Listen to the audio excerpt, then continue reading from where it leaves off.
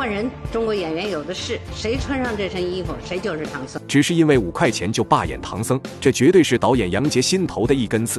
说说不好听一点吧，就是因为因为因为五块钱。当初第一个唐僧汪月离开了剧组，留下了巨大的演员空缺。为了填补这个空缺，杨洁导演找来了刚结婚三天的徐少华，让他扮演唐僧。徐少华年轻有为，模样白皙嫩嫩，立刻引来了妖精们的垂涎欲滴。徐少华的表演也令杨洁导演大为满意。然而就在剧组进展顺利的时候，徐少华提出了一个出乎意料的要求，他想回去参加考试。什么？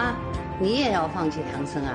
他说不是放弃，就是去考试。我说考试完了不得上学吗？他说不用上学，就是，嗯，考试有的时候去几天，拿个文凭就完了。这种不用上学就能拿到文凭的奇怪要求，让杨洁导演半信半疑。但最终他还是答应了徐少华的请求，让他去参加考试。毕竟没有唐僧，剧组只能暂停拍摄其他戏份，等待徐少华的归来。不久后，徐少华考试完毕，回到了剧组。然而他又提出了一个让杨洁导演为难的要求。徐少华考试完了回来了，没耽误拍摄，但是他又给我提出了一个让我为难的问题，他要剧组出面给学校交涉，让他能够不上学却能够拿到文凭。我说当初不是你自己说的不用上课就可以拿到文凭的吗？怎么又要剧组出面呢？剧组哪那么大面子能够左右学校呢？徐少华耍赖皮，他说中央台能办到，中国姑娘倪萍就是那么办的，那《西游记》怎么就不行？啊，不是不行，是你不给我办，就是你不给我办。但最终还是没答应徐少华的要求。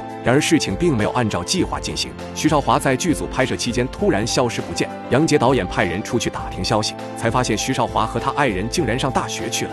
打个教务处找他们处长，回来说徐少华说了，嗯，就是补拍几个镜头，请几天假就可以了。我气得在电话里大喊。不是不拍几个镜头，是一集非常重要的戏，几天可不够。勉强拍完《女儿国》的戏后，徐少华坚决表示他要以学业为重。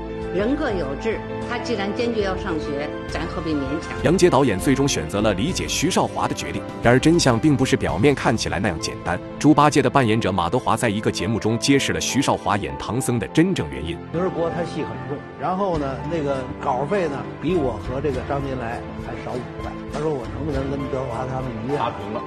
导演说你怎么能跟他们俩比？他们俩沾上那个受多大罪？杨洁导演当时非常愤怒。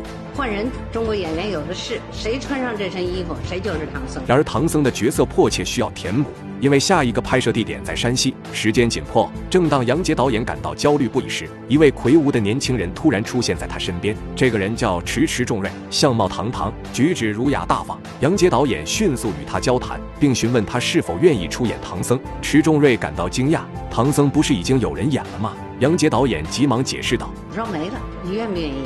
这次偶然的相遇，成就了《西游记》中的第三位唐僧，也是最坚决、最忠诚的一位。迟重瑞对这个角色充满了热爱，他兢兢业业，全身心投入到了角色中，从容不迫地走完了取经之路，最终成功取得了真经，修成了正果。在观看了这三位唐僧的表演后，你觉得谁演的最出色呢？娶了比自己大十一岁的女富婆，因为继子的一句话留了二十年的光头。迟重瑞的婚后生活到底有多卑微？我从来没跟迟先生开过玩笑，你们相信吗？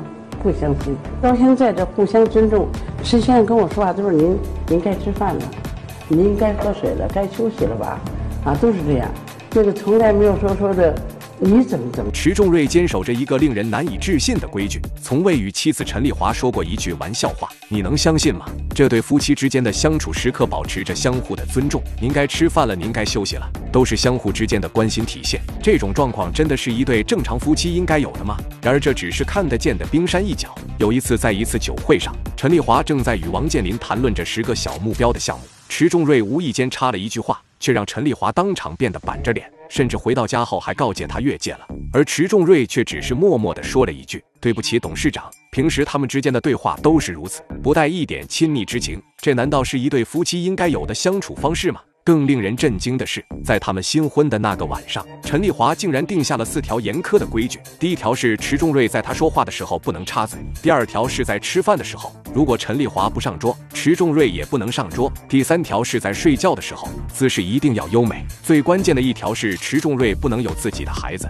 前三点迟重瑞或多或少还能够接受，但最后一点。他一时间无法接受，但最终还是妥协了。婚后，他严格遵守这些规矩，把陈丽华的三个儿子当做自己的亲生子一样对待。熟悉池仲瑞的人都知道，他因在电视剧《老版西游记》中扮演唐僧一角而红遍大江南北，一跃成为了巅峰时期的影视巨星。然而，在事业达到巅峰的同时，他却认识了陈丽华，从此踏入了豪门生活的泥淖。在电视剧中，他为了角色的需要剃光了头发，但在婚后他想要留长发。然而，继子的一句玩笑话改变了他的决定，整整二十年他都没有留长发。就是这个我们的儿子赵勇，嗯，现在是我们公司的总裁，嗯，就叫我叔叔，叫我直叔，说您看您现在，呃，光亮的头发，嗯，说感觉到您特别富态，说的您现在是什么样就保持什么样，别再留头发了。就他这一句话，我就没留头发。因为我特别尊重池仲瑞，为了尊重陈丽华，愿意为自己的形象做出这样的改变。但是留不留头发本来是他个人的选择，怎么变成了对别人的一种尊重呢？这也难怪，自从娶了陈丽华后，网上就充斥着各种传言，认为他的豪门生活让他感到自卑。但也有网友赞扬池仲瑞的聪明，毕竟娶了陈丽华，他一辈子都能享受无忧无虑的富贵生活。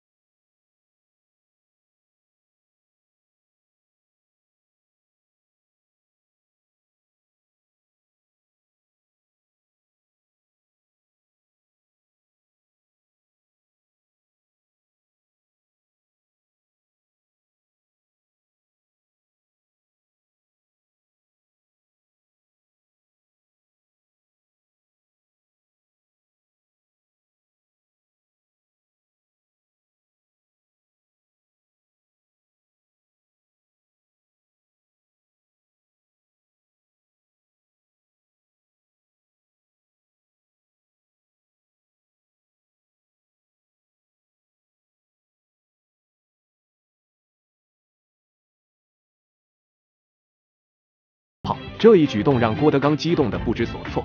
那个大炮，你你给我拿出一个来，我送给你。哎呦，我了不得！送给你。在过去的大炮，没大炮，送我一大炮，我可厉害了啊！